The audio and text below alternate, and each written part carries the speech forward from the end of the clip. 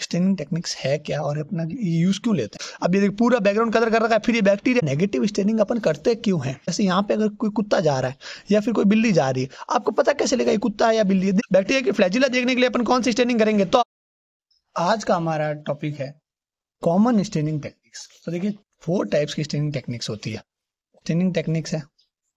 Four types की होगी। पहला होगा सिंपल स्टेनिंग टेक्निक फिर आएगा अपना नेगेटिव स्टेनिंग टेक्निक्स फिर आएगा अपना डिफरेंस नहीं इम्प्रेगनेशन और फिर आएगा अपना फोर्थ पे डिफ्रेंशिएशन ठीक है? अब एक एक करके समझने से पहले अपन को सबसे पहले समझना पड़ेगा स्टेनिंग टेक्निक्स है क्या और अपना यूज़ क्यों लेते हैं। तो अपन ने जैसे पहले वाले वीडियो में देखा था बैक्टीरिया होता है, वो होता है ट्रांसपेरेंट और ग्लास स्लाइड होती है, वो भी ट्रांसपेरेंट ट्रांसपेरेंट मतलब जिसके आर पार अपन देख सकते हैं। ठीक है? अब अगर इस बैक्टीरिया को इसके ऊपर रखेंगे तो ये अपन को दिखेगा ही नहीं और स्टेनिंग मतलब क्यों करते हैं ताकि अपन को कोई बैक्टीरिया दिख पाए, फिर अपन उसके फीचर्स बता पाए। अब जैसे यहाँ पे अगर कोई कुत्ता जा रहा है या फिर कोई बिल्ली जा रही है, आपको पता कैसे लगा ये कुत्ता है या बिल्ली है देखने से? तो अगर अगर आपको बैक्टीरिया दिखेगा ही नहीं तो आपको पता कैसे लगा तो अपन क्या कुछ स्टेन यूज़ करते हैं जो कि इनको कलर प्रोवाइड करवाए, या तो इस बैक्टीरिया कलर प्रोवाइड कराए, या बैकग्राउंड को कलर प्रोवाइड कराते ताकि ये बैक्टीरिया इजिली दिख पाए। तो इसीलिए अपन यहाँ पे स्टेनिंग करते हैं। फोर टाइप्स की है। सबसे पहले आता है सिंपल स्टेनिंग अब देखिए सिंपल स्टेनिंग में कुछ नहीं है। अपन ने यहाँ पे ये स्टेन है यहाँ पे बैक्टीरिया डाला और सारे बैक्टीरिया एक ही कलर के स्टेन हो जाएँगे। वो है सिंपल स्टेनिंग नेगेटिव स्टेन में क्या है? बैकग्राउंड कलर हो जाएगा। और मतलब बैक्टीरिया उस बैक, कलर बैकग्राउंड में दिख जाएँगे। वो है नेगेटिव स्टेनिंग तो देखिए सिंपल स्टेनिंग में कौन कौन से एग्जांपल है? मिथिलिन ब्लू और बेसिक फ्यूसिन और नेगेटिव स्टेन में कौन कौन से एग्जांपल है? नेगेटिव स्टेनिंग ये देखो ये यहाँ पे नेगेटिव स्टेनिंग और नेगेटिव स्टेनिंग के दो एग्ज़ाम्पल है। एक तो इंडियन इंक और एक होता है नेग्रोसिन डाई और अब अपना इंपॉर्टेंट क्वेश्चन यहाँ से बनता है नेगेटिव स्टेनिंग अपन करते क्यों हैं? तो जो भी बैक्टीरिया के कैप्सूल है, उनको फाइंड आउट करने के लिए अपन नेगेटिव स्टेनिंग करते हैं या फिर स्पायर राइकेट्स के लिए नेगेटिव स्टेनिंग करते हैं। फिर आता है इम्प्रेगनेशन स्टेनिंग इम्प्रेगनेशन स्टेनिंग कुछ नहीं है। कोई बैक्टीरिया बहुत छोटा है, अपन को माइक्रोस्कोप में भी नहीं दिख रहा। तो अपन क्या कर रहे हैं, उसके ऊपर लेयरिंग कर रहे हैं, उसके ऊपर परत चढ़ा रहे हैं। लेयरिंग करके उसको मोटा बना रहे हैं। जैसे यहाँ पे सिल्वर की लेयरिंग की जाती है कॉमनली तो उस लेयर बैक्टीरिया को देखना, वो है इम्प्रेगनेशन स्टेनिंग और डिफरेंशियल स्टेनिंग है, जो कि मतलब फर्दर थ्री टाइप्स की है ग्राम और एसिड फास्ट और एल्बर्ट और डिफरेंस स्टेन में क्या है, ये अलग अलग कलर देंगे डिफरेंट कलर देंगे डिफरेंट मतलब बैक्टीरिया को डिफरेंट कलर डिफरेंट बैक्टीरिया को। तो ये होता है पूरा स्टेनिंग टेक्निक से। अपन एक करके नोट से समझ लेते हैं।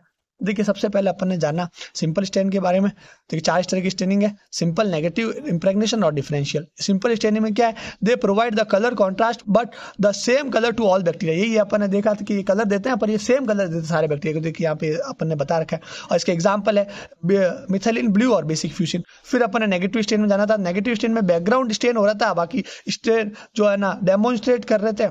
मतलब जो अपना स्ट्रक्चर है, वो स्टेन नहीं हो रहा था, खाली बैकग्राउंड स्टेन हो रहा था और unstain bacteria stand out in contrast और है ना, जो अपन अनस्टेन बैक्टीरिया वो कलर या कॉन्ट्रास्ट जो है ना कलर वाला बैकग्राउंड उसमें जो बिना कलर वाले ट्रांसपेरेंट बैक्टीरिया वो इजीली दिख पाएँगे, यही कह रखा।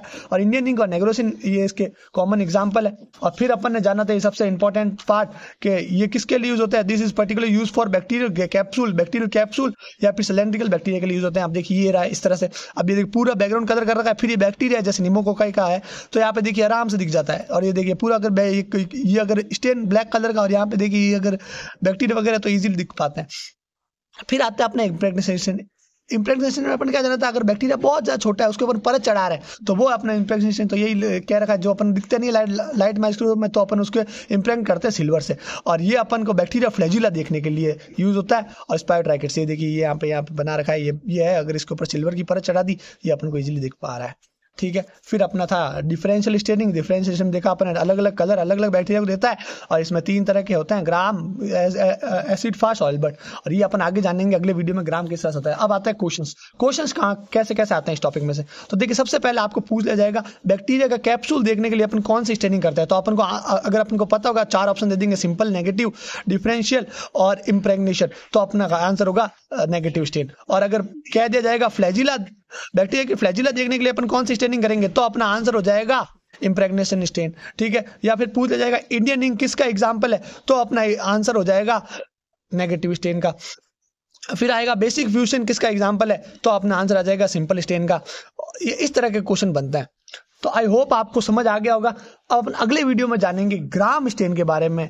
पूरा डिटेल में ग्राम स्टेन कैसे होता है कौन कौन से ग्राम पॉजिटिव ग्राम नेगेटिव सारी चीज़ें। Bacilli cocci thanks